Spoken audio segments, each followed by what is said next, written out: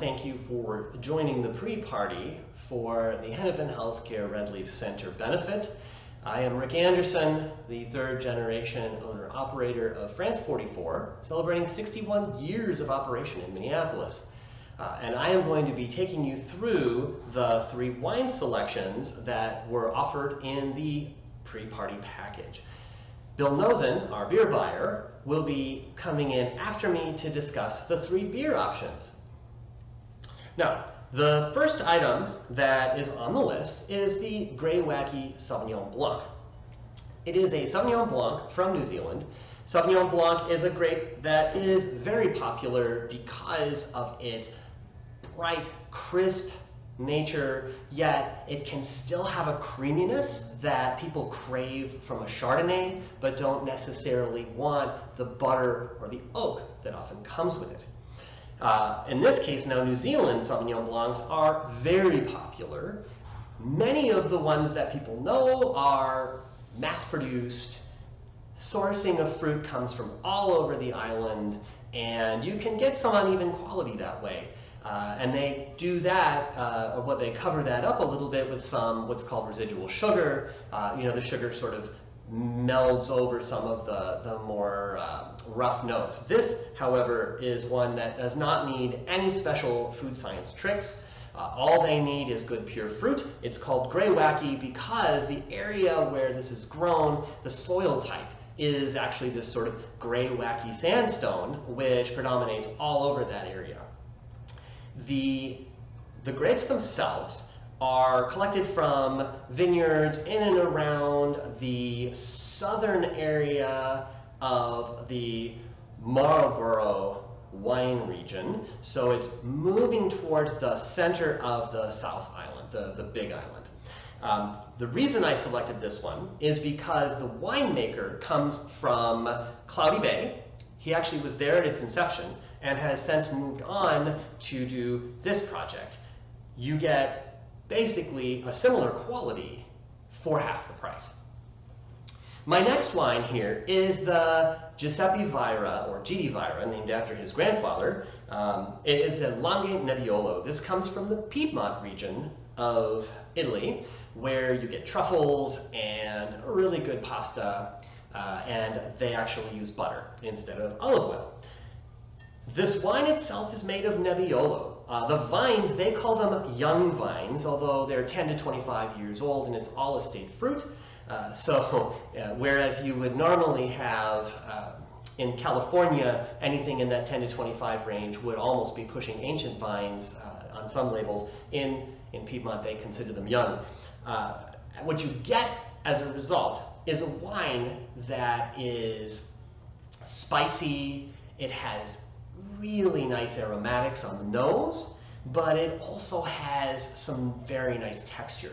It does have red fruit notes to it, so it behaves a lot like a Pinot Noir, but it, the spice that you get is what really allures in this wine.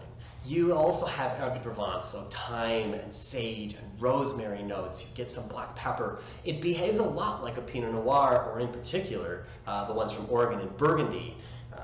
And that's one of the reasons that I like this so much. It's also super food friendly. Uh, so Vajra does everything organically. They have done so since the 70s. Uh, they're just a class act, and I couldn't, couldn't be happier to feature them. The third wine on the list is the Raventos De Nit.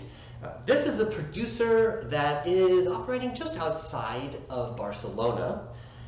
The area is famous for its cava. Cava is a sparkling wine made in essentially the same method as champagne, but it doesn't use the same grapes. Uh, the grapes that they use traditionally are going to be Xarel-lo, Parellada, Macabeo, and then they'll add in other ones. You could have Chardonnay, uh, you can have Pinot Noir, just like you get in France. Uh, but in this case, they actually add a little bit of Mourvedre, or as they call it, Monastrell. This is a rather unusual choice, uh, which I think yields really, really impressive results. The Monastrell gives it almost a ruby red grapefruit note that is just subtle, but just enough to really wake up the wine and give it a little more structure and a little bit of red fruit that would otherwise be lacking with a cava in this area. Raventos is a producer that has been in continuous operation since 1497. That makes them arguably the oldest continuously operated vineyard anywhere in the world under the ownership of the same family. Over 500 years of experience there. Um, this wine is, is drop dead gorgeous and a killer value for the money. So with that, I am going to pass it along to Bill, who will talk to you about the beers. Thank you.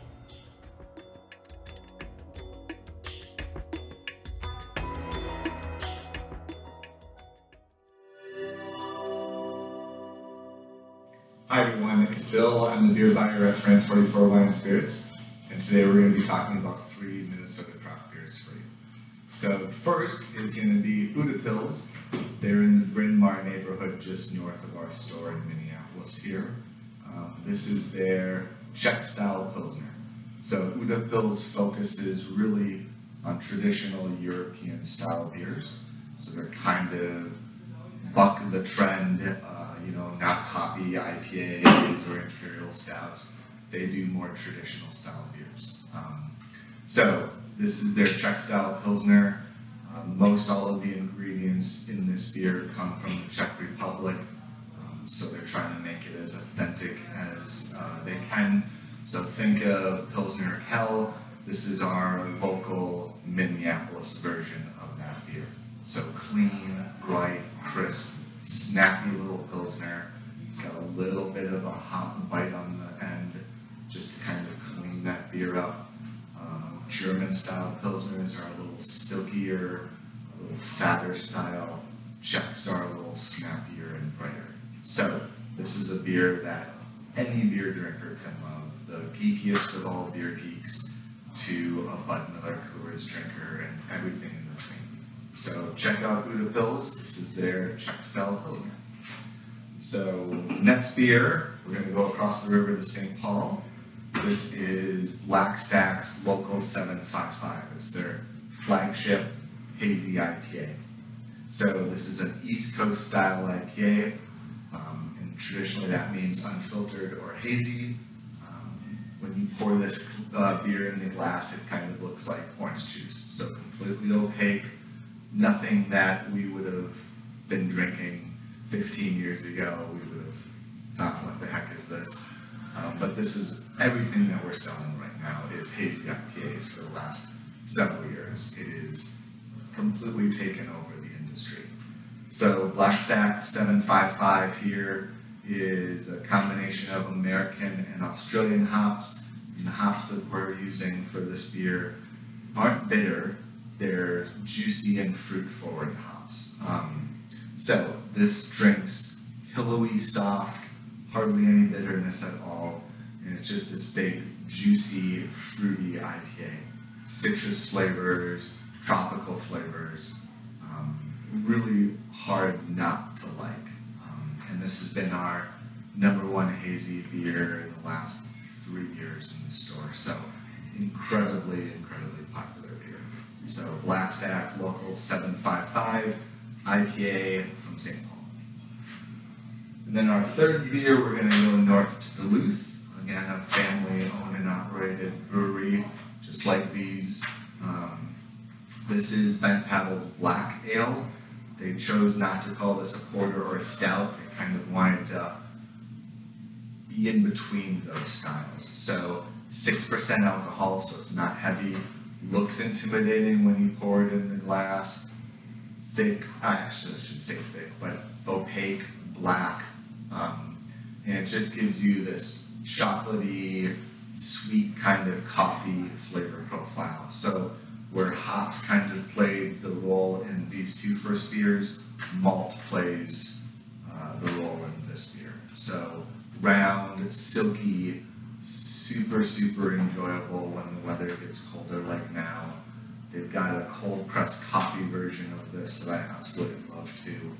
Um, Bent Paddle up in Duluth has been really making just super well-made, balanced beers over the last several years. And it's another reason why we love them so much. So, three of our favorite local beers, um, Minneapolis, St. Paul, and Duluth, in three very different styles, kind of takes care of a broad section of the beer camper.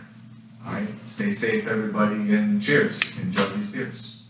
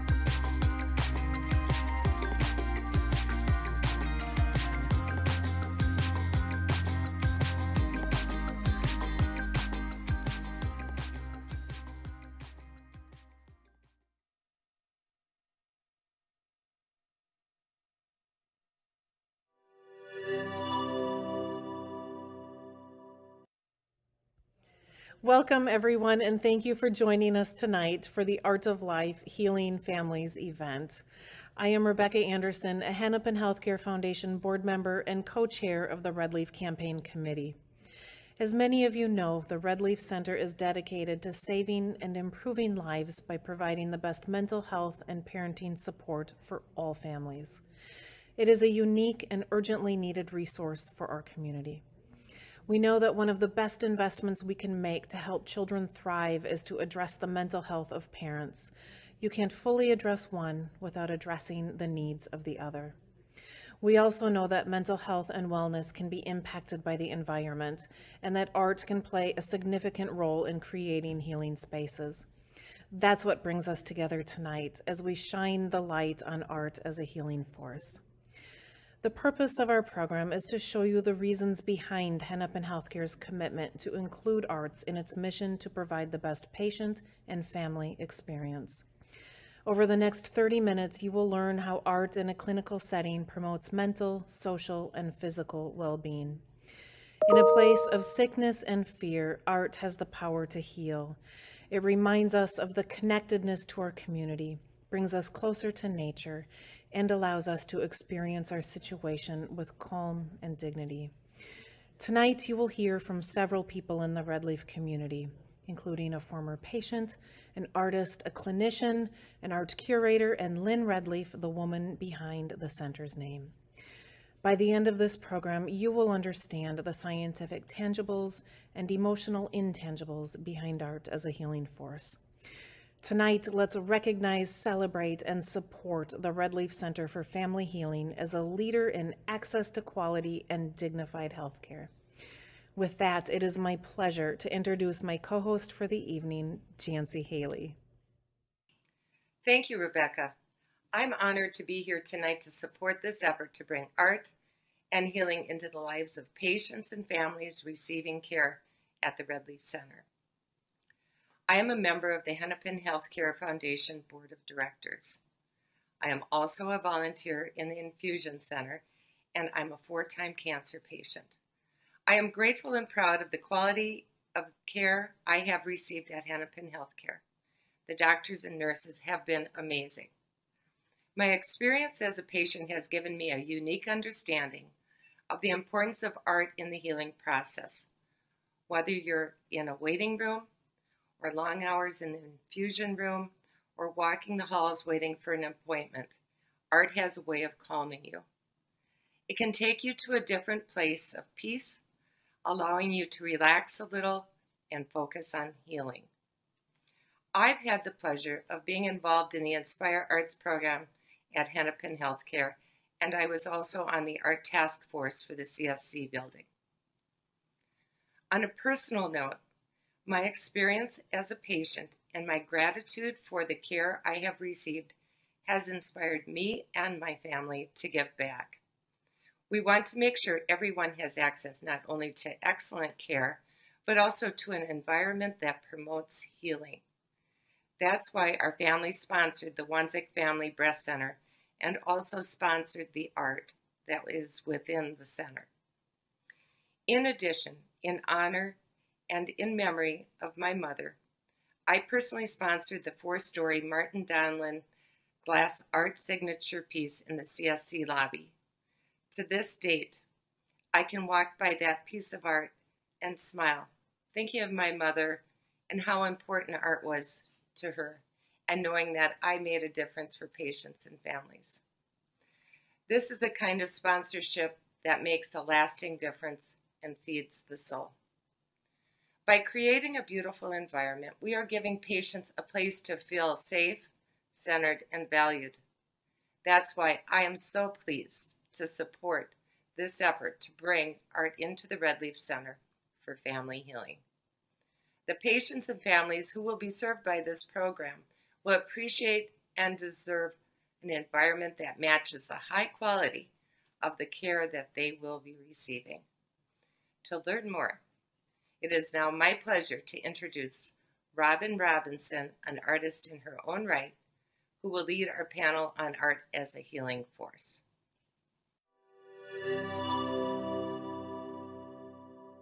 Rebecca and Jancy, thank you so much. I'm Robin Robinson with 5x5 Public Art Consultants. I'm your moderator for this panel discussion of art as a healing force. And I'd like to introduce our panelists today. Dr. Helen Kim is medical director, who is co-founder of the Red Leaf Center for Family Healing. Shannon Gurman, who is a mother baby graduate of the program. Holly Blanchard, who is on art concierge and founder of Art Girls Minneapolis and Linda Ballinger, who is coordinator of Inspire Arts at Hennepin Healthcare. Thank you, everyone, for joining us. Thank you. Thank you. Dr. Kim, I think both of you and I agree that art is a de-stressor. And I'm curious as to how art fits into your program for, for families at the Red Leaf Center. So thank you, Robin, for the question. So, so families that come to our mother baby program, upon which the, the Red Leaf Center really um, generated from, it really are coming with a lot of uh, emotional distress. And that's really what's motivated them to seek help, that they're pregnant or they're parenting young children, they're experiencing depression or anxiety or intrusive thoughts or really um, substance use or other kinds of struggles. And I think when people come with that deep sense of emotional pain, I think this idea of entering a space that's beautiful that has um, nature and art and representation of um, faces that look familiar to them, I think is really important. I think the idea of creating a space that doesn't feel clinical, like not a kind of a sterile walled hospital setting, but really a healing center, um, I think is a very essential um, quality that we want to create in our healing center. Uh, and I think it, it, art can be a, a, unifier. I think it can really bring um, people together. So um, I think art is going to be a really essential part of the healing environment in the Red Leaf Center. I find it to be such a collective experience that you created, Wenda, that it allows the community to really be a part of this healing experience by selecting artists from the community of different walks and different diversity. Yeah, absolutely. Um, that was something that was really important to us, um, kind of at this at this time where we kind of find ourselves as a city. Um, that we really wanted to um, pull in art from local artists and artists of color, um, and just give that a really a special emphasis for this project in particular. And also mothers. We we have a lot of um, artwork from women that I that will be selected for the project as well because we really wanted to celebrate women and families. Shannon, you've been a part of the mother baby program, and I, I, understand that Red Leaf Center has been wonderful, but it was a smaller center. It didn't give enough of that space that you probably needed, that safe space that Wenda's talking about, that developed space where you can uh, get out of that mindset, those negative thoughts, and expand on that. How is this going to help with the expanded center and more artwork? But as a mother who just had my third child, I was feeling um, a lot of depression and anxiety, um, a lot of intense emotions that I had not experienced before, and um, quite honestly, just didn't know how to cope. And so I came into contact with Mother and Baby program and become, became a patient there. Um, and through my time at Mother and Baby was not only able to learn how to cope, um, but I really learned how to heal um, and how to grow as just both a person and as a mother. And as you said, Robin, um, the environment that you are in um, when you're in a situation like that is critical. It's really the foundation um, for the entire program because if you are not in a safe, calm, comforting space, um, you don't feel you know safe to open up or at a place where those healing conversations can really begin um, so really excited to hear about Red Leaf and be a part um, of helping gain awareness around this great program um, because this is just going to be even bigger and even better um, and more inclusive of the whole family as mother and baby continues to grow and help more in our communities. Holly, you can see it from the art perspective and the mother perspective because of art girls i mean you kind of understand the whole process give us a little bit of background of your experience with red leaf and why you think what this new development and bringing art into the program really means for, for mothers and, and for you. Thank you for that question. Um, for me, I I feel I'm a big believer in being vulnerable with our story. I think when I had my twins back in 2011, um, you know, postpartum really wasn't talked about as much as it is now. I feel like there is definitely more of a platform. So I just felt very confused. I felt, what is going on with me? You know, I was a first time mother. Other women were saying, it just comes naturally. Um, you'll know instinctively what to do. And I wasn't feeling that at all. I literally um, had the thought of, I wouldn't even care if my babies died. And I can't even, it, it makes me very emotional even saying that today because I don't even know who that was saying that, but that's how screwed up I was, my brain. Yeah. Um, and so when I finally went to the doctor's office and it was just my OBGYN, um, I felt like so safe with the nurse even comfort comforting me and and letting me know that this is postpartum depression. It's not you. Um, we can help you.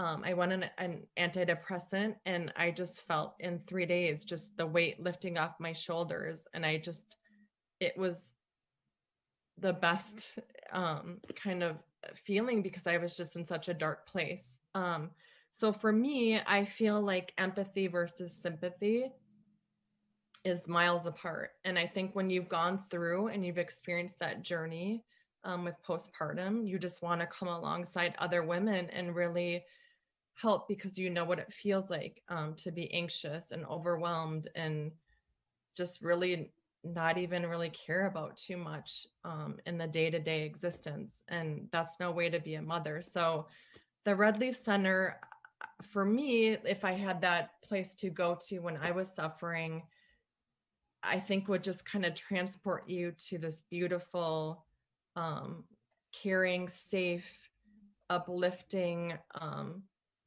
environment where you just feel like people are are there to help you and come alongside you and support you. And so i think with art I, I think it's universal. It doesn't matter your socioeconomic background. It doesn't matter your ethnic ethnicity.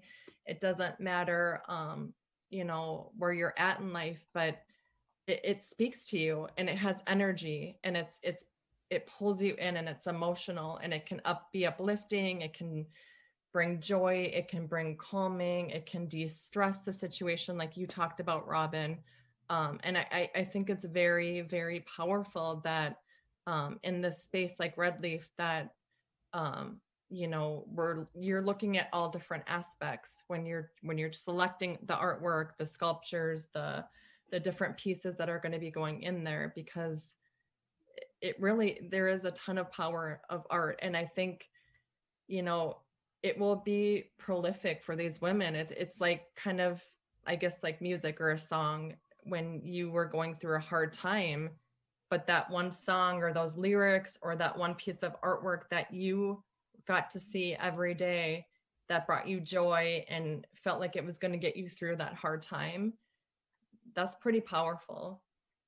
So well said, definitely, Holly. I mean, I think many people relate to that. And and Dr. Kim, I want to come back to you and ask you, you know, I guess we evolve as people. We're maybe now we're more open-minded about the idea of bringing art as therapy to people, art as a, a, way to open up that communication, art to tell us that we're all in this together. I feel like we finally are at a, a tipping point that I think is largely led by um, patients and families who I think have um, I think have been, uh, I think, misled in some ways to feel like the main treatment for mental health or emotional distress or grief is through medication and talk therapy. I think that's those are kind of the options that are often presented as um, really the kind of the paths toward healing. And I think a lot of people have gone down those paths by with uh, well-meaning um, mental health providers and at the end of it not really felt much better and you know part of the red leaf center is really to transform models of healing that integrate things that we know um, from patients and also from research uh, are essential toward whole body healing, whole mind healing, which is related to um, feeling emotionally safe, relational support. Um, I think the arts is a way of getting at the nonverbal um, kind of parts of healing. I think Holly and Shannon and uh, spoke it so beautifully, where we where people can come and feel safe, supported, known, strengthened, and connected. Shannon, Holly, I want to ask you both. Do you think this, um, the, the opening of the Red Leaf Center and your involvement in this, do you think now that you've actually, this is a calling for you to talk about what's happening in, in the community with women with postpartum depression and getting them directed to a place where you know they can go and get help?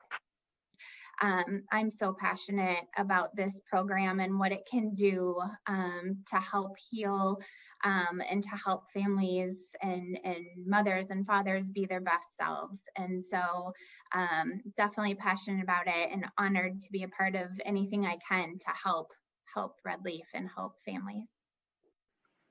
I agree, Shannon. Um, I I just feel like when we go through these really hard times in life, um, and it could be um, postpartum, it could be cancer, it could be whatever it is. I think that we go through these really hard times in our life to serve others once we've gotten through to the other side. We need to come alongside the women, the men, and be vulnerable, be vulnerable, be open, and share our story because I think it provides hope. And I think um, that is the way that we can serve other human beings on this earth is to just walk alongside them and let them know it is going to be okay you are going to get through this and um, there's so much hope on the other side.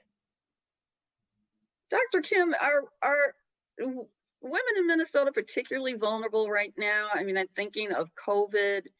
I, am thinking about the loss of work, but I'm also thinking about uh, the community in general, uh, the Twin Cities has had an amazing amount of emotional stress following the George Floyd uprising and uh, his murder. Does that make Minnesota women uh, who are pregnant particularly vulnerable right now and families particularly vulnerable right now?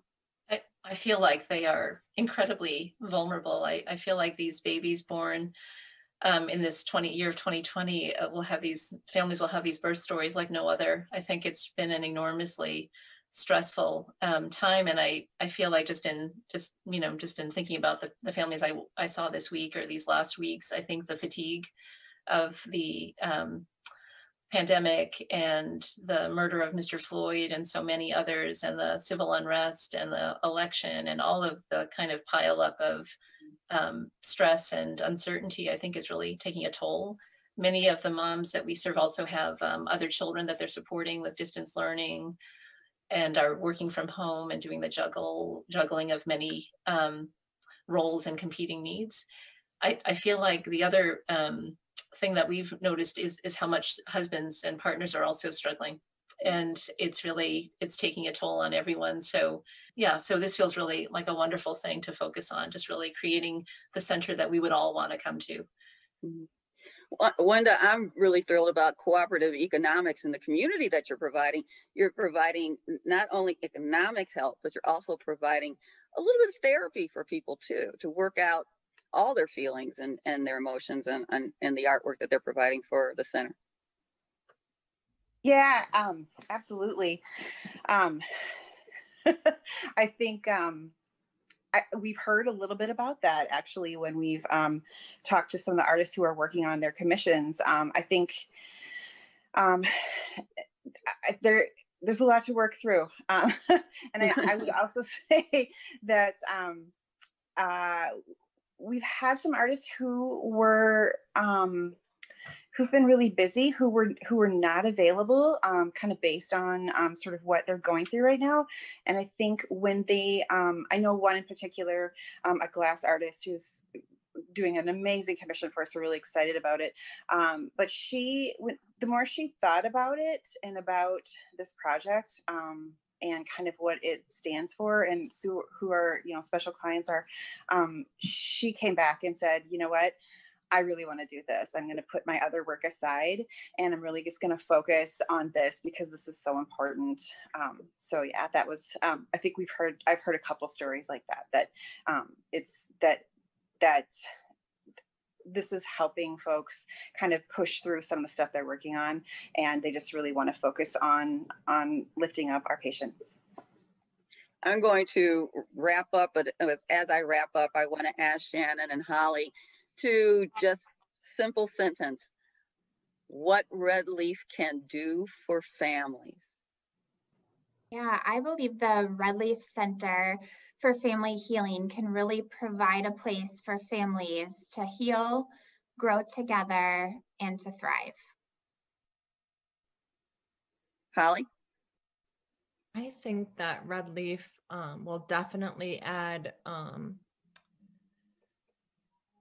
uplifting, um, positive, um, you know, foundation to to go off of and and move forward and get behind um, maybe a, a rough start or um, but just to keep moving forward and um, just provide a lot of hope. That's all we can ask for is providing hope. That's all we can go for. I want to thank you all for joining me today for an amazingly powerful and inspiring conversation. Thank you. And now we're going to hear from some of the artists that have their work displayed at the Red Leaf Center for Family Healing.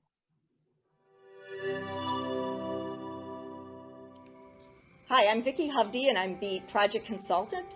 Uh, welcome to the Red Leaf Center. I have the honor of being with Anne Lebovich. She is the artist that we have commissioned for this space, which is right in the entryway as you come through the reception area. And it'll be a large piece right here. And it will have a series of, of um, squares that are pre-painted by the artist, by Anne. And it is then, um, it's almost like a quilt I guess for a, a, to explain sort of what it looks like. And each of the squares is a collaboration between the artist and the, the patient. So it'll actually become part of a therapeutic um, activity that will occur with, um, with the staff. And what's really cool is that when there's gratitude on the wall, either in a picture format or in a photo form or in um, words, other people benefit from your gratitude. So if I walk by and I see your gratitude, I'm filled with your gratitude. So it's this kind of wonderful way of communicating and touching one another in a nonverbal visual way. Hi, my name is Lori Green. I'm a mosaic artist and I'm going to be installing a piece here. Um, the piece is a family scene. Uh, new mother and baby and a young child and husband, father. There's lots of trees and birds and a deer, all sorts of beautiful colors. I typically make work that I have things hidden in it that are especially for children to see, so I'll probably have something in there and hope there's some magic in there for everybody. The piece is really about love. I'm Stacia Goodman of Stacia Goodman Mosaics. What I hope is that when people walk through the door of the Healing Center, they will feel like the artwork um, embraces them and give, really gives them a sense of comfort, of joy, of possibility, and most of all, of healing. My name is Jody Reeve, and I am so excited to have my work in this space. It's going to be um, an installation of several circles, 24 circles across the ceiling. And um, I've worked with circles very much in my work. And for me, the circle signifies um, nature, um, wholeness, centeredness, groundedness, and um, just really that hopeful feeling of healing. And I'm really excited to be a part of this project. Um, I just want to share my personal story that um, I'm a mother of two children, and both of them struggled with mental health. And I can tell you that this space, if I would have had this available to me at the time with the thoughtfulness of the, the play areas and the artwork, I would have just been so supported um, given that. And my children are grown now and we've gotten through it, but I really, um, it's really like full circle to be a part of this project and have my artwork in this space. Thank you. I'm Lynn Redleaf. From the beginning, my top priority in supporting Dr. Kim and the Redleaf Center has been to help children. This project checks so many boxes that are really important right now. Supporting at risk families, addressing the needs of mothers, getting children off to a healthy start in their lives, and ending generational cycles of abuse and neglect. From everything we know about brain development and mental health, it's clear that providing care and support to families early on provides benefits long term.